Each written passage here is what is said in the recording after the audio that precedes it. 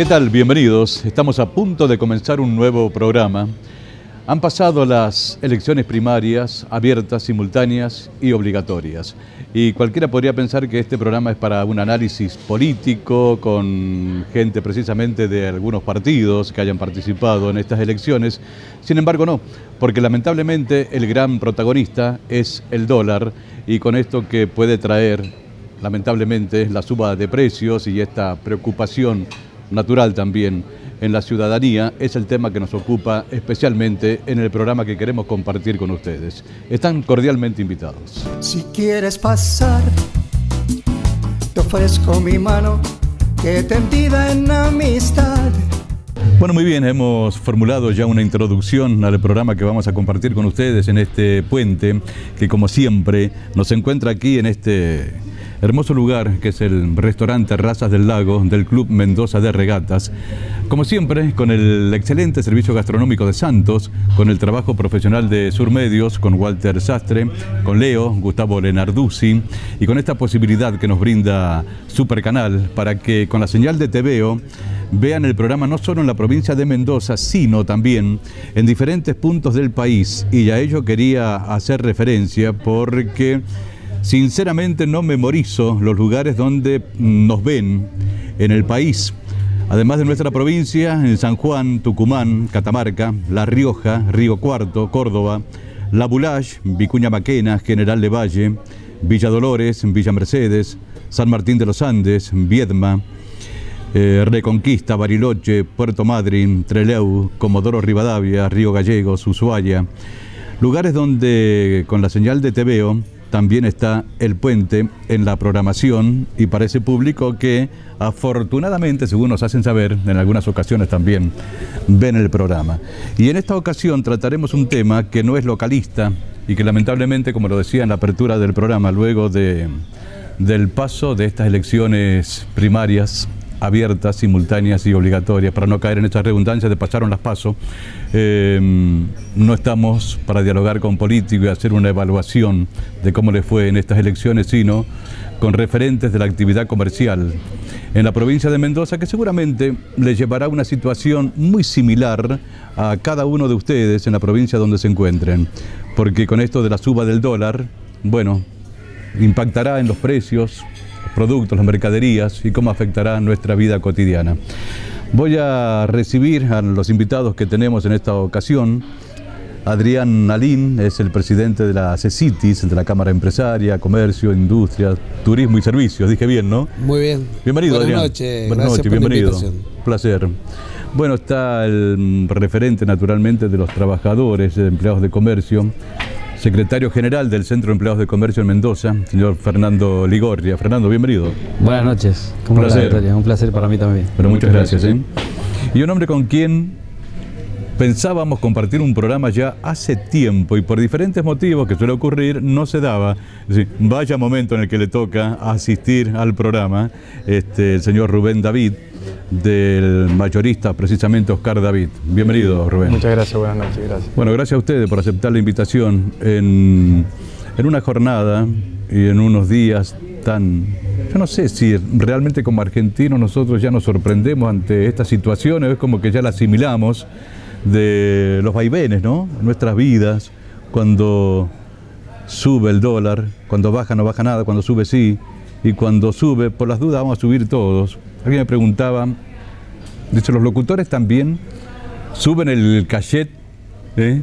de lo que van a cobrar cuando sube el dólar. Y si uno le dijera que sí, le van a decir, no me das que cotizás tu voz en dólar, en dólares. No, pero yo vivo también. Y cuando aumenta el combustible y aumentan un montón de productos y todo eso que hace que también suba el costo de mi vida, obviamente debo subir también el costo del trabajo que realice. Y si no, por las dudas aumentamos, ¿no? Y hoy está, tan volátil, palabra, está Fernando. tan volátil la situación que este, creo que un poco el pensamiento de muchos. ¿sí? No es lo lógico ni lo que necesitamos ni lo que pensamos, pero lamentablemente la situación de hace mucho tiempo de, de la Argentina en sí este, se torna como un electrocardiograma, ¿no? donde tenemos esos picos de crisis. Subimos, bajamos, subimos, bajamos. Como vos decías, estamos un poco acostumbrados. el dólar nos hace lo mismo. Y lamentablemente tenemos una economía dolarizada en todo sentido, donde bueno, en la parte por lo menos que nos toca a nosotros los salarios no, no se ven reflejados, entonces siempre estamos con el panorama de incertidumbre en todo esto que, que ha pasado ahora. Los salarios no, no, no siguen ese ritmo. Quiero preguntarle a, a Rubén David, en algo en lo que uno apela, yo, les digo que este no es un programa de corte periodístico incisivo, eh, lo que surja de este programa no es la noticia que van a tomar diferentes medios como titulares, no, no, no, no, es un programa de corte social, donde hablar con precisamente tan importantes referentes de la actividad comercial en, en Mendoza, pero que insisto, lo traslado a cualquier lugar del país, nos, nos lleva a tomar, a tomar conciencia en cuánto podemos contribuir o no los consumidores, ¿no? a veces por, por entrar en estados de, de, de, pánico, el susto, el miedo, de decir, no, mira, por las dudas salgamos a comprar todo lo que podamos ahora y con eso hacemos que suban los precios. Y... Podría preguntar a, a Rubén David, referente precisamente de un mayorista muy importante en la provincia, Oscar David. Este, por ejemplo, ¿ya está impactando la suba del dólar en los precios de las mercaderías, de los productos? Eh, lamentablemente la historia nos condena. O sea, eh, parte eh, de este problema muchas veces sucede por anticiparnos y por tener esta locura. ¿no? Si mañana dicen que va a subir el combustible, seguramente hay cola, cola. A, a, a, la vuelta a la esquina. ¿no? Entonces, pero también la historia nos dice que el que no cargó, al otro día cargó más cara. Entonces, este es el problema y a veces el miedo que da. Hoy tenemos que comprender también a la gente que eh, se acostó el sábado con el mismo sueldo que se levantó el lunes.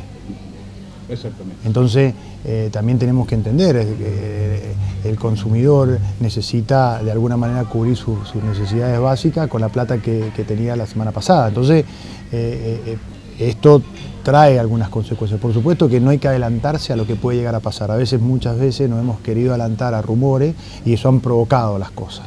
Entonces lo que hemos tratado de hacer nosotros en esta situación y en las anteriores que ha sucedido es tratar de, calmarnos, de abastecer a, lo, a, los negocios y a nuestros clientes, de amortiguar eh, con, con parte del stock el que podemos o el que tenemos en ese momento y tratar de que esto no se vuelva una locura. Entonces, eh, esa es un poquito la responsabilidad que tratamos de, de, tener nosotros y la calma que tratamos de llegar.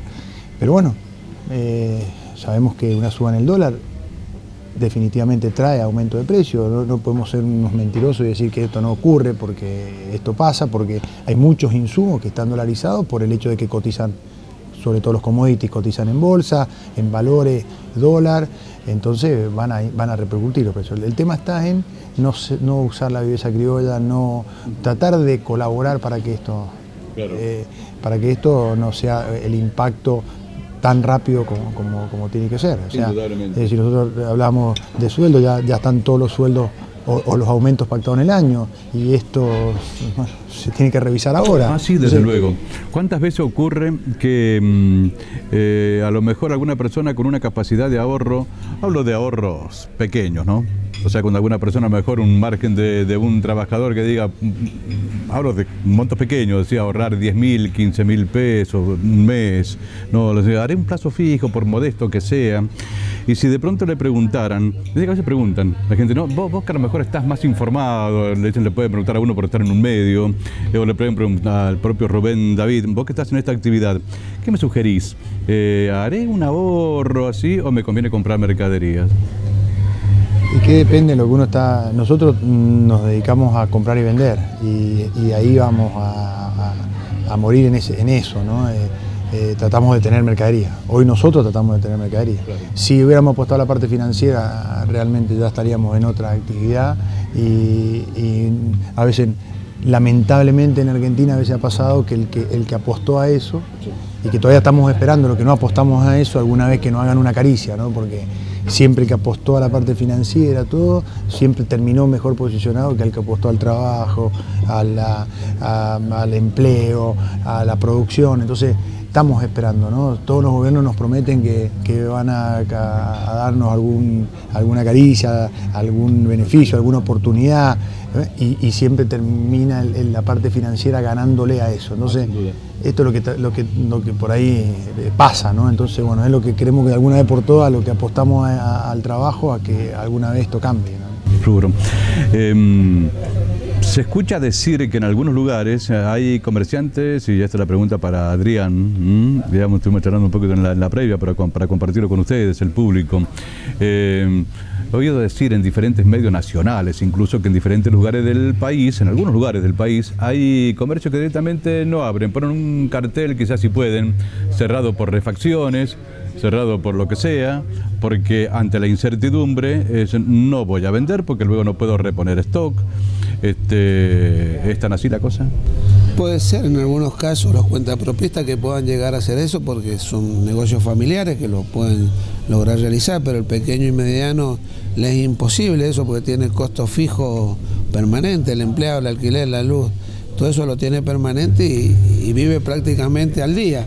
O sea que... No se puede permitir cerrar. El pequeño y mediano que, que alquila y tiene un empleado o dos o tres, es imposible que lo pueda hacer. Y, tiene que ver muchas veces con el producto, que están también estos que comercializan oro, que, están, van relacionados con el valor del dólar y que no les conviene, pues al no tener un valor cierto del dólar, no les conviene abrir porque no, no saben cómo van a reponer, a qué valor del dólar van a reponer mañana. Puede ser, eh, siempre pregunta a la gente cuando nos ven que vamos a, realizar un programa, ¿cuál es el tema que van a tratar? ¿no? Eh, la curiosidad de la gente, bienvenida, que se interesen, ¿no? Cuando uno anticipa qué tema vamos a tratar, dice, ah, ¿por qué no le preguntás? Preguntás en la mesa, ¿qué hay de cierto en esto de que conocidas cadenas de, electrodomésticos del, del país, venden, pero han subido tanto el precio como para decir, es lo mismo decir, no vendemos, porque con este precio no me vas a comprar, pero no, no puedo cerrar. Pero si subo un precio casi al doble, sé que no me vas a comprar, pero no cierro. ¿Puede ser? No, la verdad yo no, lo he visto. No, he escuchado nada de eso. Era un sector que estaba, los artículos duros estaban muy, muy retraídos, no se vendía, las, las mueblerías no estaban con muy pocas ventas, estaban sosteniendo el personal, porque acá tenés, que sostener el negocio y sostener el personal que tenés. No es fácil mantener el pequeño y mediano, mantener cuatro o cinco empleados sin venta. Este, este ahora dos y este aguinaldo ha dado un aire al, sector, a, los electrodomésticos que les ha venido, les ha beneficiado al, y al consumidor también. El consumidor ya no es el consumidor de antes que tenía su privilegio iba y compraba en X casa porque estaba de moda o porque tenía publicidad. Hoy día el consumidor camina, camina a la ciudad, compara, compara calidad, compara productos.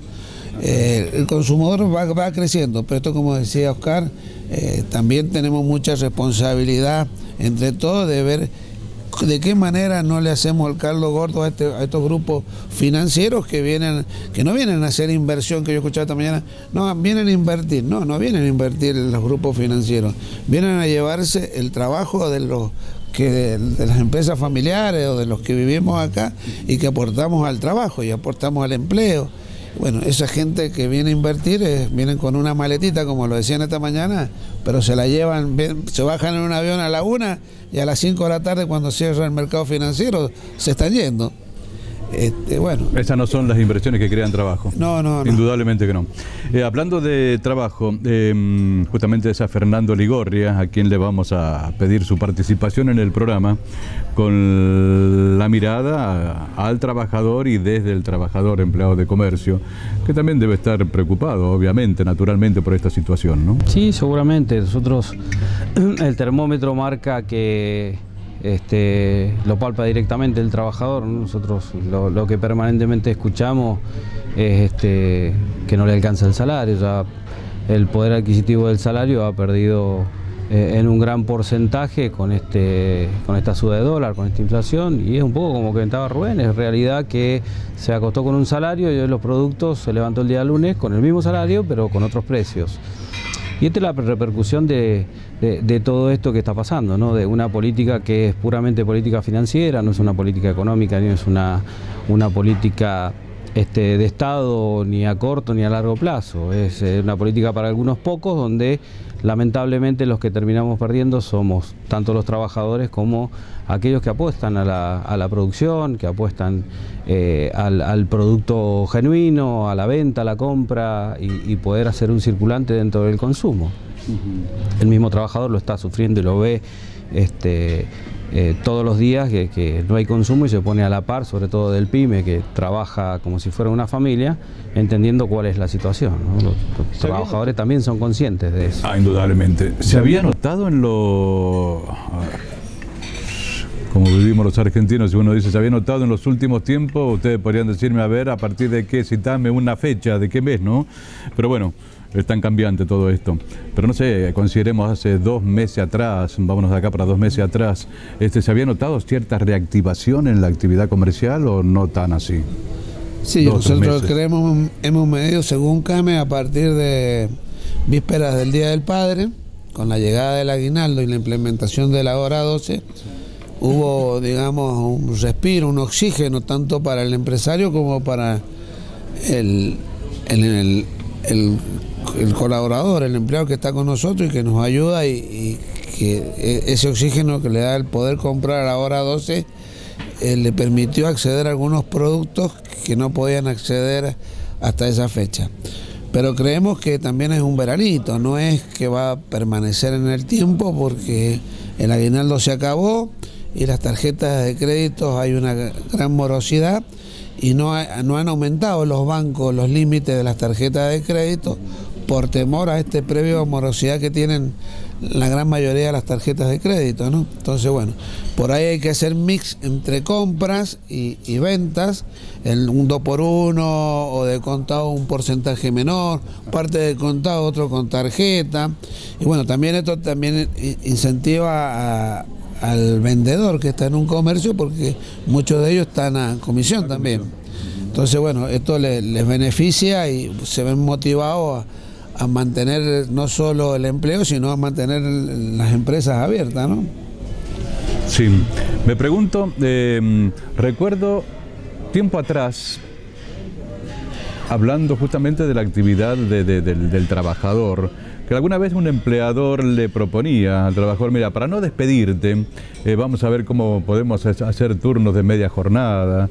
Eh, cuando esta amenaza de la baja del consumo, naturalmente por los precios, puede llevar a un comerciante a decir, mira, se me hace insostenible la situación.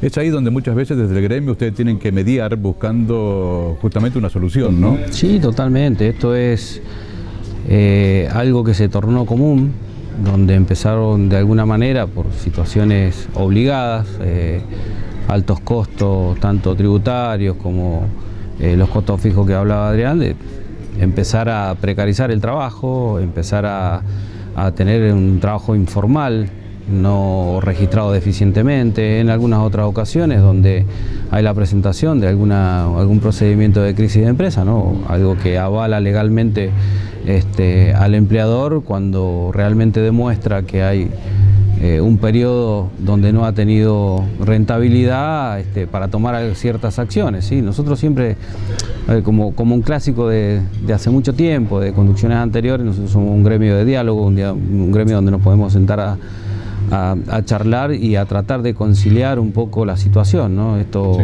nos obliga a tratar de sostener las fuentes de trabajo más que a este, quizá defender un derecho genuino. ¿no? Este, creo que el primer, derecho genuino nosotros estamos convencidos de que es justamente sostener la fuente de trabajo. Lamentablemente en esto son, son situaciones de negociaciones donde este, tratamos de que eh, nadie salga herido y, si hay que ceder, que cedamos de las dos partes donde quede de alguna manera este, formalizada la situación y de acuerdo todo. Obviamente que nosotros siempre vamos a defender al trabajador en, en toda su dimensión, el derecho que le, que le asiste, y en esas situaciones a veces tenés que eh, entrar en un diálogo a lo mejor un poquito más, más fuerte, eh, pero nunca se deja de conciliar.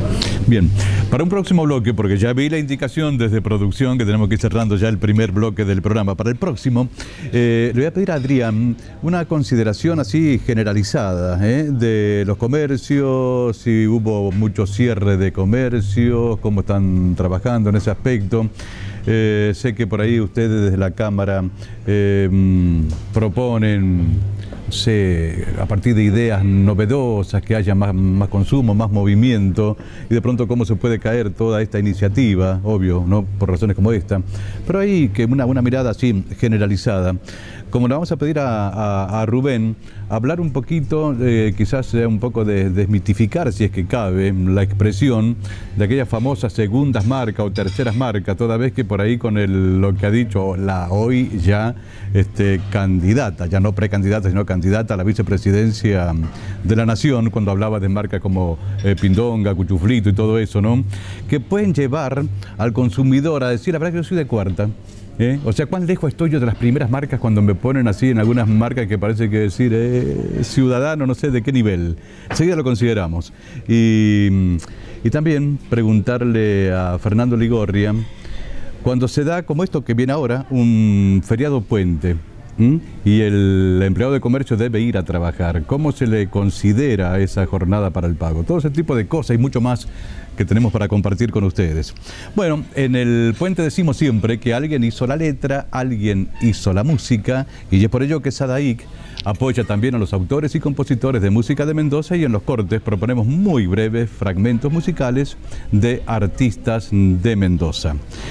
Comentábamos que hemos llegado tan cómodos al restaurante, ninguno tuvo problema para estacionar porque nos movilizamos con Amurat Radio Taxi. Llamamos al 4-303-300 y el taxi nos deja aquí en la puerta, de modo que es una comodidad que tenemos y compartimos con ustedes también desde el consejo, desde la sugerencia. El SUTER, que es el sindicato que se ocupa de los encargados de edificios, ya tiene a su nuevo secretario general, que es Carlos Esteban Flores. Nos pide, por favor, comunicarle a los afiliados del SUTER que ahora, los días martes de 14 a 16, eh, tiene habilitada una oficina de asesoramiento legal para todos los afiliados para que en horas de la siesta se acerquen y puedan interiorizarse de todo lo que quieran saber. El SUTER, entonces, al servicio de los afiliados. También tenemos que comentarles que UDGRA, el gremio que sigue avanzando con la gestión de Humberto Montivero, secretario general, está proponiendo ahora un concurso de pinturas para los hijos de afiliados hasta Em, chicos jóvenes hasta la edad de 17 años. Ahora lo vamos a mostrar para que también estén en conocimiento de ello. Vamos a ir buscando una pausa, breve pausa, ya volvemos. No es para flojos, dijo el tomero, aproveche el agua que Dios le dio. Para y viña están en la espera, el agua fresca, el regador. SBS Librería Internacional. Universo de Palabras en Gutiérrez 32 de Ciudad. Amurat Radio Taxi. Trayectoria y prestigio lo hacen bueno y conocido. Radio Taxi 4303 300. Sadaik acompaña al Círculo de Autores y Compositores de Música de Mendoza. Participa Agrandemos el círculo. Contacto 261-539-1985.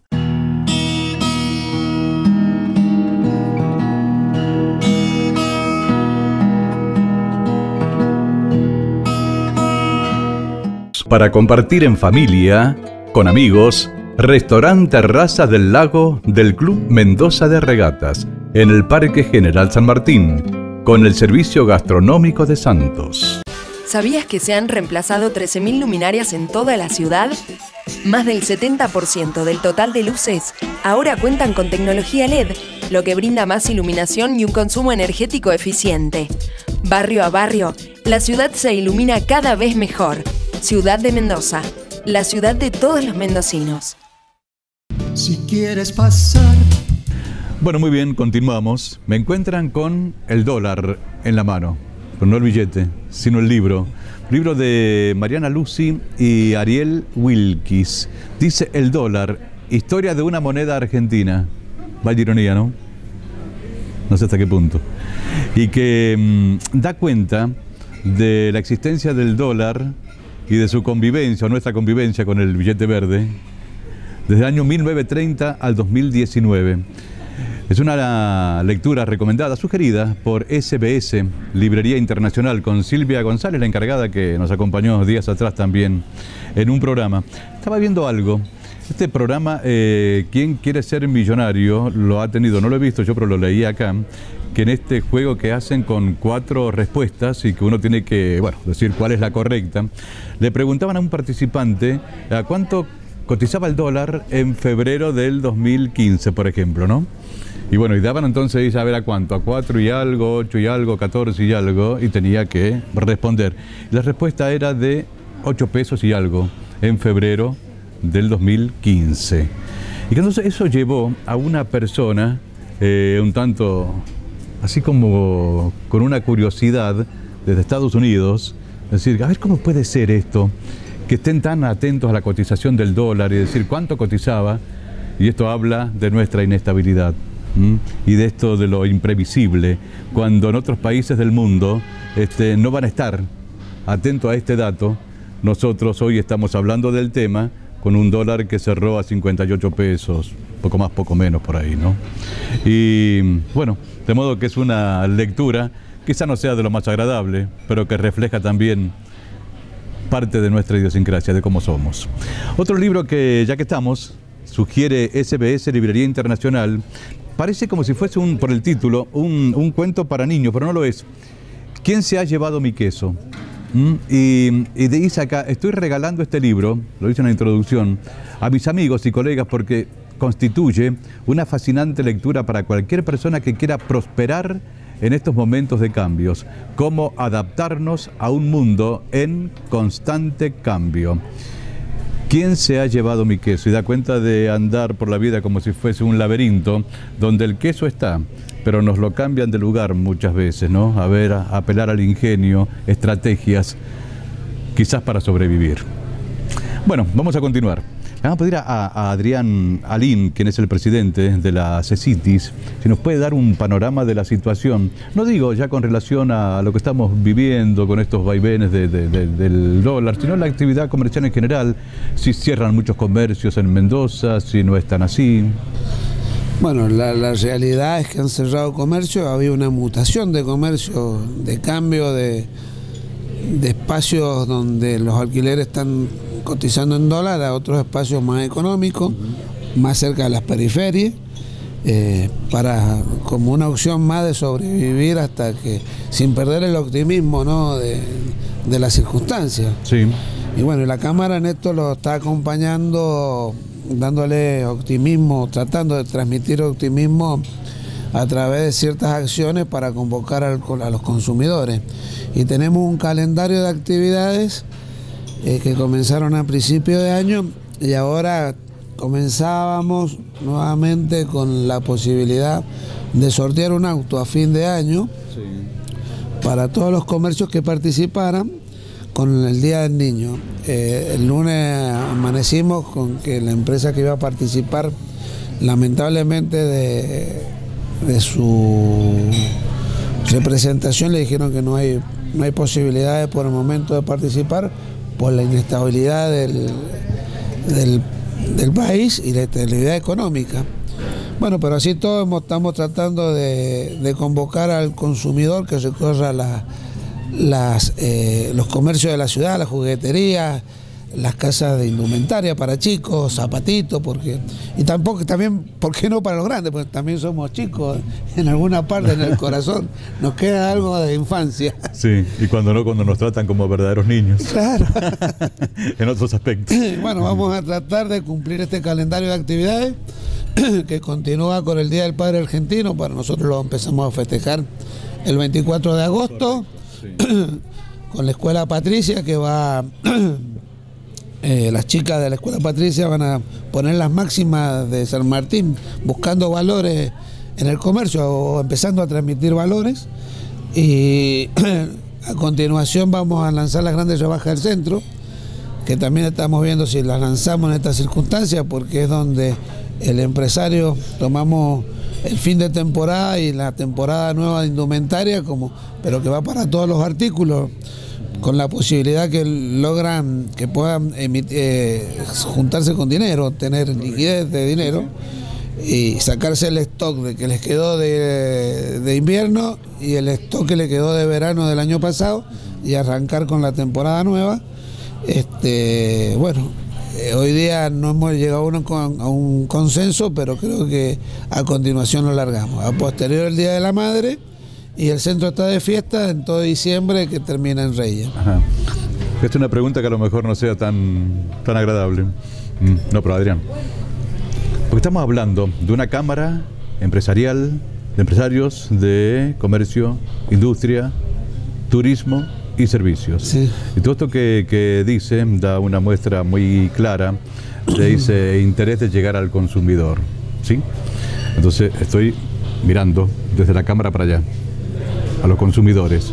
Miro desde la cámara para adentro. ¿Cuál es el compromiso, la participación, justamente de quienes deben estar en la Cámara? O sea, ¿cuál es la mirada? ¿Tienen mucho en común o todavía no logran esa unidad necesaria? Y es difícil, no es como un centro comercial cerrado que tiene un gerente, pagan una cierta cantidad de expensas y generan todas unas acciones de marketing y tienen un reglamento que tienen que cumplir al momento que firman el contrato, que es un negocio inmobiliario. En la ciudad es muy difícil lograr esos consensos pero bueno, este grupo de socios fundadores que recuperamos la Cámara son todos empresarios locales y ahora estamos viendo que muchas tiendas, muchos locales de Buenos Aires se, están sumando a esta iniciativa. Bienvenidos sean, es porque es para todos. Y bueno, y la idea es que recorran la ciudad, porque la ciudad tiene distintas características. Eh, no es lo mismo los ejes, por ahí cuando hablamos de turismo, los ejes de la calle de la Acera, Juan B. Justo, Aristide, San Martín, que es por donde circula el turismo, bueno, esos, esos sectores por ahí se ven beneficiados. Claro. Em, no lo he dicho, pero obviamente pueden interactuar cuando por ahí tengan ganas de, de, meter, de participar, meter una opinión, con todo gusto. Eh, hacía referencia, Adrián, al Día del Padre, que es el 24 de agosto, conmemorando la paternidad de José de San Martín, ¿no es cierto? Más allá de que por una fecha comercial siempre lo tenemos en cuenta en el mes de junio. ¿Cierto? muchas veces uno dice, es que falta un poquito, voy a emplear una palabra, espero que no moleste, falta un poquito de, de circo, de, montar cosas tipo show, ¿no? Para que lamentablemente parece que sí, porque la ley está, es una ley, la que dice que el Día del Padre debiera festejarse, conmemorarse en la Argentina el 24 de agosto. Pero no se lo ha hecho todavía tan comercial, parece que hace falta que lo hagamos. Mira, nosotros lo empezamos a trabajar hace muchos años, cuando Viti Fallá era diputado y Guillermo Antus llevaron el proyecto al Senado a la, nación, porque todo depende de, Buenos Aires. Acá en Mendoza está la resolución del Día de la Escuela. Los chicos lo festejan el 24 de agosto, el Día del Padre Argentino. El otro día no lo festejan, porque el día de Thomas Home, un americano. Eh, bueno, de ahí creo que vamos a tener que ir generando conciencia de los jóvenes. evidentemente eh, de los chicos y en esto bueno eh, es fundamental la comunicación y el que y que el Estado nos acompañe porque son me parece una pata fundamental que, falta para armar todo este show que vos decís de comunicación. Por ahí nosotros no visualizamos ni tenemos los medios como para poder agrupar más instituciones que nos ayuden a, poner el Día del Padre el 24 de agosto. De ser más marketinero de alguna manera, como se emplea el término, ¿no?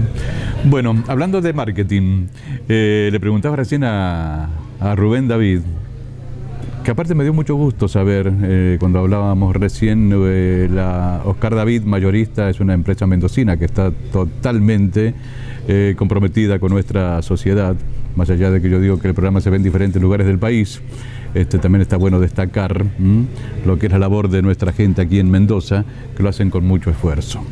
Eh, hay que reivindicar de alguna manera segundas, terceras, no sé hasta qué, cuánta categoría de marcas podemos llegar, segunda, tercera, cuarta, no sé. ¿Hay que reivindicarla o realmente están, digo, porque están desprestigiadas o no? No. ¿No? hoy hay, menos marcas que en el periodo que gobernaba la candidata a vicepresidenta. O sea, nada, estas marcas han existido siempre y, hay que diferenciar entre una segunda marca de calidad o una segunda marca por publicidad o por conocimiento. Hay segundas marcas que se las considera segunda marca porque no tienen publicidad o el conocimiento de todos, pero en calidad son lo mismo que la primera.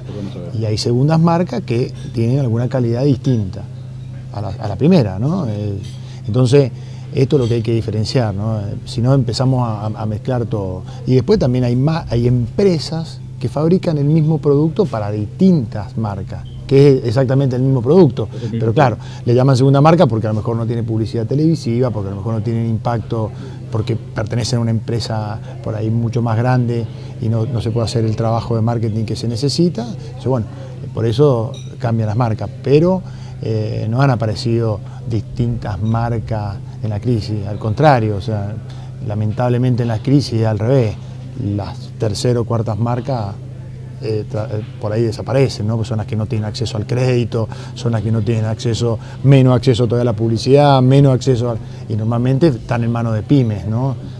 entonces se mezcló algo que, a mí ya muchas veces me lo preguntaron y, esto es lo que, lo que vale aclarar. Por otro lado, hoy la tecnología ha hecho que, y no acá en Argentina, en el mundo, casi nadie está dispuesto a pagar más por algo que no tiene un, diferencial. O sea, hoy, hoy vos agarrás tu teléfono con aplicaciones y sabes cuánto vale el producto en cualquier lugar del mundo. Y, cualquier comercio. Entonces, la gente hace mucho tiempo, como, como decía recién, eh, acá y en el mundo, ¿no? Es una compra inteligente ver, qué le sirve, qué le da de, beneficios, si le conviene pagar esa diferencia o no, si, el producto lo vale o no. Entonces, bueno, esto es lo que, lo que ha pasado y cuando hay crisis, bueno, se profundiza más, o sea, se ve al consumidor dando vuelta, mirando quién lo fabrica, quién lo hizo, dónde lo hizo, eh, si le da una diferencia en el otro. Bueno, esto, esto se acentúa. Em, un mismo producto, un mismo producto, la misma calidad con diferentes marcas, dijo. Eh, ¿Oscar David tiene marca propia o no en algunos productos? Tenemos solamente, nosotros tenemos una fábrica de panificados. Panificados. Y, tenemos, mm, hacemos en esa fábrica, tenemos panadería, pero bueno, hacemos algunos productos para el mayorista, con la marca nuestra y bueno, y algo de vino eh, también, pero eh, normalmente trabajamos las marcas de, las empresas. Es una pregunta en la que mm, inevitablemente habrá, no, no, voy a hablar de política partidaria, de eso ignoro cuál, si tienen alguna pertenencia, no, no apunta por ahí la pregunta, ¿no? Pero mm, naturalmente damos por la calle, integramos una sociedad. Y cuando se habló en los últimos tiempos de que mm, habían crecido los comedores comunitarios y que las carencias en muchos ámbitos eran más notables. También se notó en, el público que busca el precio de un mayorista, se incrementaron las ventas y de pronto se unía, digo si ustedes lo conocen, que se unía a la familia, por ejemplo, compremos más entre todos, ¿cómo, cómo, cómo se moviliza eso? Nosotros, nuestro foco como empresa está en, los comercios de cercanía, restaurantes, hoteles, ahí está nuestro foco. El consumidor final ha llegado al mayorista y ha llegado no solamente en Argentina, ha llegado en el mundo. O sea, hoy la empresa que más crece en Estados Unidos es un mayorista, una cadena mayorista, ¿no? que se llama Costco, ah, crece sobre Walmart. Y, Amazon crece sobre Walmart y sobre, o sea, que, no tiene, que no tiene comercios. ¿no? Sí. Entonces, hoy la comercialización ha cambiado y va, y va a seguir cambiando y cada vez va a ser más cambiante, pero bueno, nosotros, nuestra actividad está en tratar de apoyar a todos estos comercios que, nuestra empresa tiene 45 años y siempre se ha dedicado a, atender a, los comercios de cercanía, de barrio, entonces bueno, estamos tratando de hacer un mix entre los productos que tienen estos comercios de cercanía y los que por ahí podemos vender nosotros como mayoristas porque el mayorista, un consumidor final, no puede comprar, no compra un fiambre, porque nosotros no vendemos fiambre cortado, vendemos piezas enteras, entonces todos esos productos los va a comprar en, el comercio cercanía.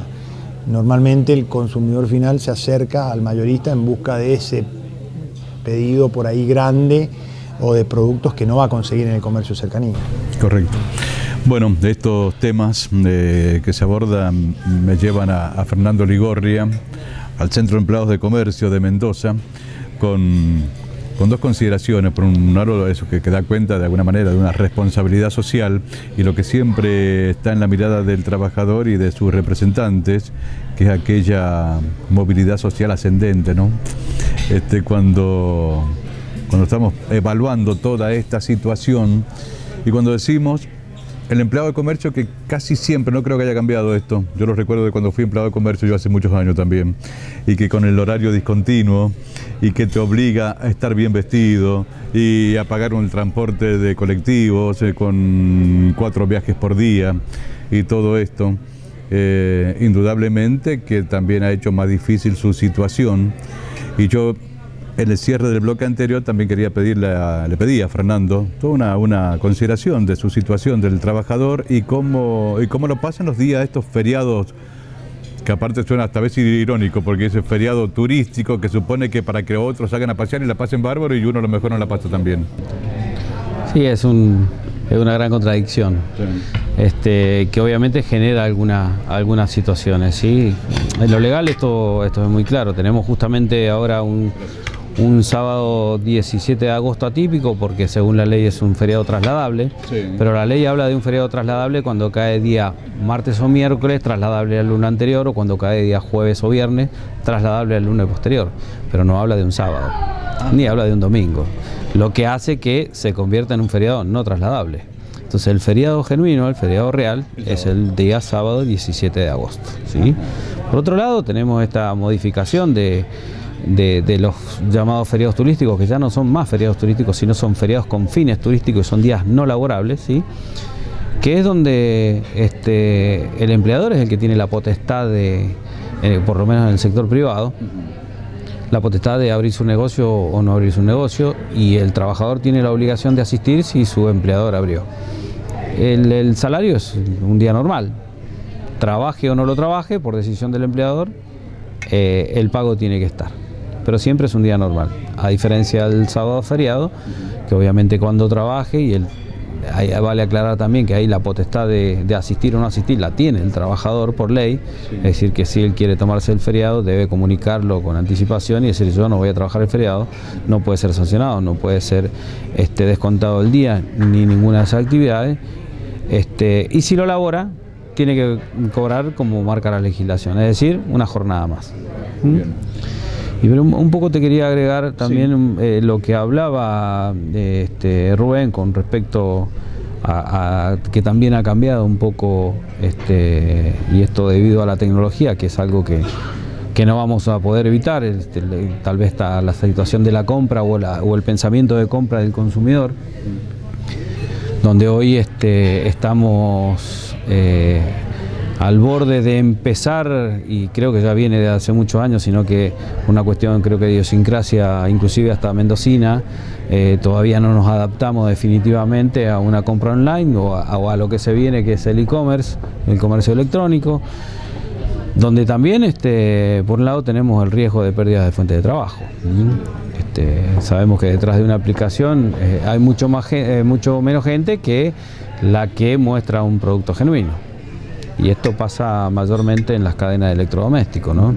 donde hoy los trabajadores de electrodomésticos, la mayoría, eh, en vez de ser vendedores, pasaron a ser eh, eh, asesores. Y después de asesores pasan a ser el que entrega la mercadería.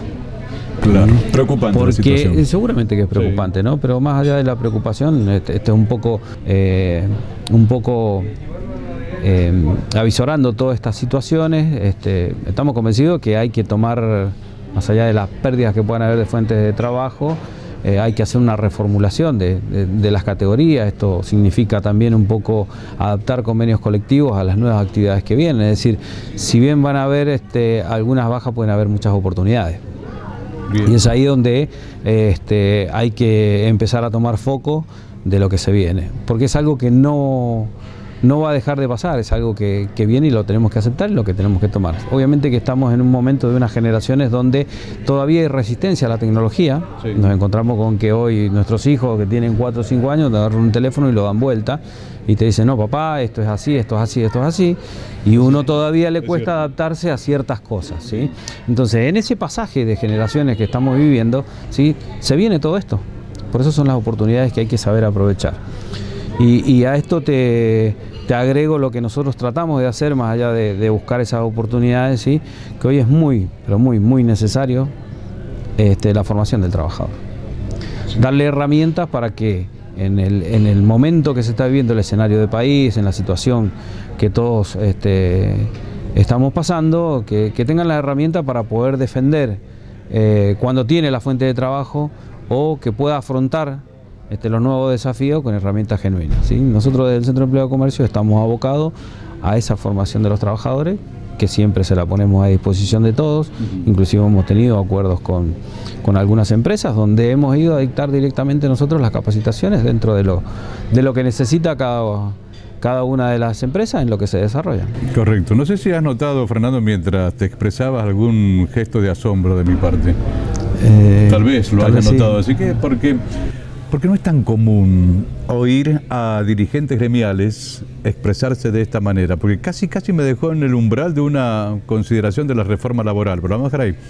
Adrián tiene muchas ganas de decir algo, pero en el próximo bloque. No, en el próximo acuerdo Con, Fernando totalmente. La necesidad de, la apertura mental. De la apertura y, también acá hay, un, hay, eh, hay que hacer una autocrítica al sector empresario que tenemos que cambiar mucho todavía y adaptarnos porque los jóvenes hoy día vienen con un dinamismo totalmente diferente, tienen otro formato, otro formato de pensar, con intenciones de prepararse y no, y no muchas veces con trabajar las horas partidas, tienen, tienen otro concepto de la, de la vida, no les gusta algo y no les gusta. No, hay compromiso. No hay compromiso. No hay compromiso. ¿Cómo me gustó? En algún momento de la charla alguien eh, expresó, eh, hizo mención al término pertenencia. Qué necesidad que hace, ¿no? Sí, sí. Desde que lo incorporemos totalmente, sí. Bueno, eh, ahora voy, ahora voy. Cómo me apura la producción, que hay que cerrar el segundo bloque, que se nos va el tiempo. El último libro, eh, por el programa de, que estamos compartiendo. Padre rico, padre pobre. Dice ¿Qué les enseñan los ricos, los ricos, a sus hijos acerca del dinero que los pobres y la clase media no? ¿Mm? Un tema interesante también, que no tengo mucho tiempo ahora para, tratarlo, pero sí para sugerirlo y que se acerquen a SBS, Librería Internacional, que está en calle Gutiérrez 32. Es un buen libro, ¿eh? Es un buen libro, ¿no? o sea, David lo conoce. Es un buen libro. Sí, muy sugerido. Padre rico, padre pobre Está entonces para. Ahí está. No digo más nada para que se tienten y vayan a buscarlo a SBS Librería Internacional. Les decía que alguien hizo la letra, alguien hizo la música y Sadaik está junto a los autores y compositores de música de Mendoza y el círculo, por supuesto, que ahí en la publicidad, en el corte, van a apreciar cómo contactarse. Les recuerdo que el SUTER, el gremio encargado de justamente se ocupa de los encargados de edificio, también en lo que tiene que ver con los aportes de obra social, toman plena conciencia que se ha hecho algo difícil y dice el gremio también va a hacer su aporte, de modo que le pedimos a los afiliados del SUTER que se acerquen. Y UDGRA, gastronómicos y hoteleros que nos acompaña en, en, el puente. Está ahora lanzando un concurso de pinturas para los hijos de afiliados, de modo que lo compartimos. Y cuando precise un taxi, haga como nosotros. Llame a Murat Radio Taxi, el del cartelito verde, 4303 300. Ya volvemos. Habita en el silencio tu recuerdo. Y entre mi canto el silencio que aún no pierdo. ¿Sabías que se han reemplazado 13.000 luminarias en toda la ciudad? Más del 70% del total de luces ahora cuentan con tecnología LED, lo que brinda más iluminación y un consumo energético eficiente. Barrio a barrio, la ciudad se ilumina cada vez mejor. Ciudad de Mendoza, la ciudad de todos los mendocinos. Udgra Seccional Mendoza, Mitre 741 Ciudad. Udgra sigue sumando Humberto Montivero, secretario general. Amurat Radio Taxi. Trayectoria y prestigio lo hacen bueno y conocido. Radio Taxi 4303-300. Sadaik acompaña al Círculo de Autores y Compositores de Música de Mendoza. Participa. Agrandemos el círculo. Contacto 261-539-1985. SBS. Librería Internacional.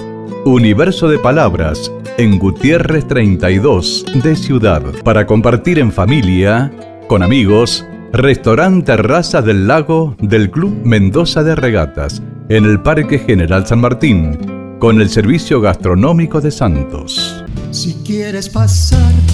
Bueno, Qué feo, ¿no? Me hicieron las señas del último tramo y brevísimo para llegar al final del programa que se ha pasado volando. Eh, quedan muchas cosas para tratar, pero le voy a pedir a Adriana Lin que diga lo que quiera. Eh, tantas cosas que se han tratado y que ya desde ya me comprometo a invitarlos en otra oportunidad para, para continuar con todo esto. Que se exprese libremente, Adrián. Bueno, yo primero quería decir bueno, que la Cámara sigue bregando por el mantenimiento de las empresas y, el empleo, sosteniendo, porque son nuestros colaboradores.